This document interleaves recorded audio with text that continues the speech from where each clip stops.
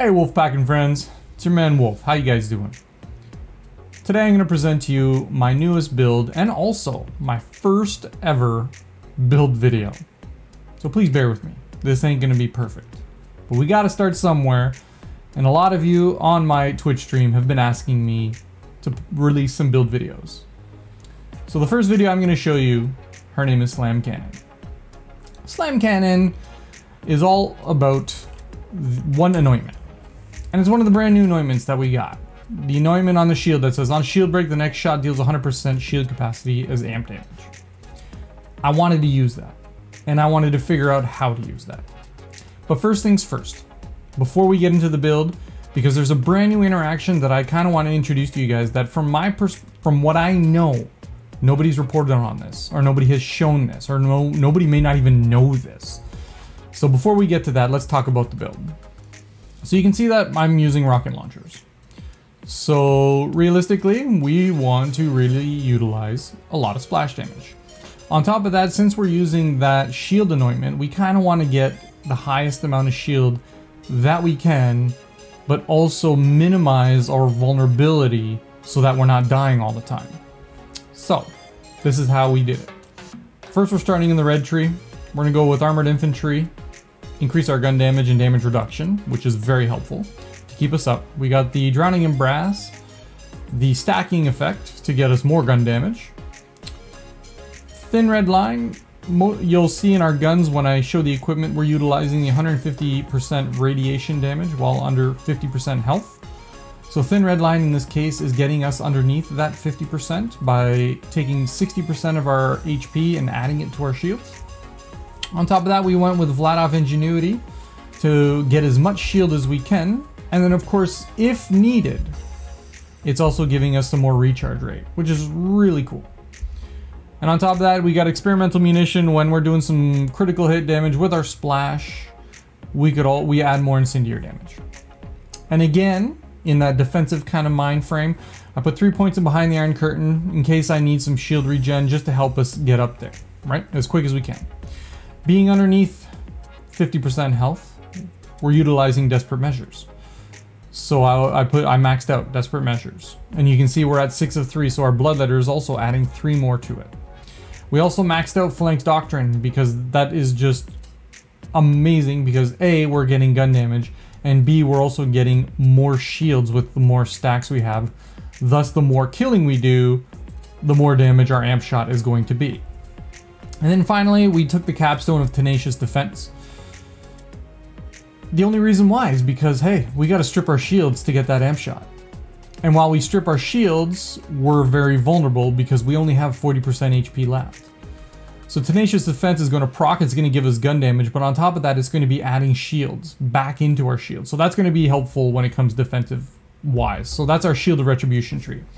Now on the Bottomless Mags tree, we kind of went with the basics. We went with Cloud of Lead because we're going to be shooting rocket launchers, and in, in the, this case, we're going to be doing more incendiary damage and also have a chance to not consume ammo. On top of that, we took Stoke the Embers to increase our incendiary damage. We took Scrappy because recently he got a uh, he got some love. He got an extra it adding it's adding weapon damage for us, which is the main reason why I grabbed this. Uh, and then on top of that, they also gave some love to Rushin' Offensive. So if I'm using a Plague Bearer or any other gun, I can be sprinting, and that the damage that I'm doing while I'm sprinting is is coming back in heals. And as we know, we have a bloodletter, so that's going into our shields. That is the bottomless mag tree. And finally in the Demolitions Women tree, we went 5 in Fire in the Skag's Den for again, all the splash damage we're doing, we're getting increased incendiary damage. And then Torgue Cross Promotion, we put 5 points in there because again, this skill got love. We're getting 30% more splash damage. But this is where the risky part comes into effect. So our blast radius is doubling, every, you know, 15% of the time. So what that also means in this build is we kind of have to stay mid to long range to keep ourselves safe from that blast radius because it's going to hurt and we're going to go down. So we'll have to get back up. As for gear, you're going to see I am wearing two Plague Bearers in my first two slots, two Backburners. And you can see we got different elements because we want to utilize the different kind of bars that uh, enemies can have. Uh, the main one that I use is the fire one for mobbing. because we're increasing a lot of our fire damage and you're going to see it does a lot of damage. Now, for the interesting part of this whole entire build. Um, I'm just going to start off though first, your grenade, it doesn't matter what grenade you use. I'm using an It's Piss because in the end I can throw the It's Piss, debuff the guys, and do more damage. And it's even really good for bossing. So that's why I have the It's Piss. But now for the next three. This is where all the fun interactions kick in. I'm going to first start with the artifact. We have a cut purse launch pad. And I want to focus really more on the launch pad portion first. So what the launch pad is telling us is that Slam launches a barrage of missiles. And those missiles actually home in and hit enemies. What the text is not telling us is it's actually doing melee damage. And that melee damage is triggering the cut purse. And as you can see what the cut purse does is it replenishes the ammo of the gun that I currently have equipped as well as my teammates. So this is going to be really good also in a group setting because your teammates don't have to worry about ammo. But that's not the new interaction I was referring to. The new the new action I was referring to is if we look at the shield now. The first part of the shield says sliding into an enemy drains all shields up to, and it does it does 10,874 bonus cryo damage based on your current shield. So when I was thinking about this build and we were testing it on my Twitch stream, the question I gave my viewers was, A, how do we get rid of our shields ASAP so that we can proc this anointment? And then the next question was, once we do that, how do we get that shield back just as quick? Because we're going to become very vulnerable. If our shield is gone and we're down to about 40% health, you kind of do the math. We're very squishy in that little point of vulnerability. And when I talk about builds that I do, I always look for the points of vulnerability because that's when you're going to go down. And if you can minimize your vulnerability, your build can become that much more successful. So, as I was testing this shield, I was jump I was going in and I was sliding. And I was getting my amp shot and I was shooting my rockets and they were doing amp, which is exactly what I wanted. But at that time, I was actually running out of ammo. I'm like, you know what? I gotta get the cut, cut launch pad because that's gonna, you know, replenish my ammo. I don't always have to run back to the vending machine and refill my ammo, and we're good to go. We can keep going. But I just wasn't happy with the sliding effect. And I'm like, okay, maybe we can use a snowdrift. It's gonna go in quick. We can get in quick. We can get out quick. We'll be good. But then I put my launch pad on, the cut purse launch pad, and I slammed. And then all of a sudden, everything froze and I lost my shields. And I, I was like, what the heck just happened? And I realized that the launch pad of the artifact is not just doing melee damage, it's triggering the sliding effect. So maybe the way that the code is working is the launch pad is a special damage type that inherits melee. And the slide is considered underneath that special damage type but inherits from melee damage. So my rockets are now flying up, hitting enemies, and triggering that slide, which is A, freezing all the enemies around them, including myself, because it procs a Nova on myself.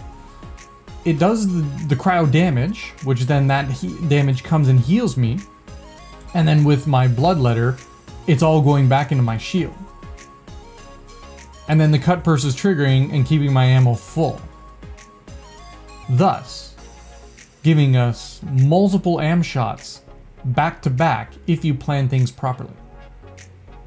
So, on top of that, I do want to address one little thing. You, if you have the Guardian perk Come On and Slam, this is going to really help you with this build because you can jump at any height and you can slam and then you can trigger the cut the launch pad to trigger the cut purse to trigger the sliding of the snowshoe to get all this stuff working together. So I have it. I'm good to go. If you don't have it, that's okay. You can find some ledges or you can find a little thing to jump on to slam and focus hard on getting your guardian ranks down to get come on and slam. Okay? The next thing before we go into the gameplay, I just want to show you guys that I'm running Mayhem 10. I'm in True Vault, True Vault Hunter mode. And the, uh, the affixes that I chose for this build, and this is not a restriction just for this build, but this is what I like to run with this build, is I'm running Big Kick Energy for a little bit more gun damage. Healy Avenger, So upon death, you know, you got this little heart.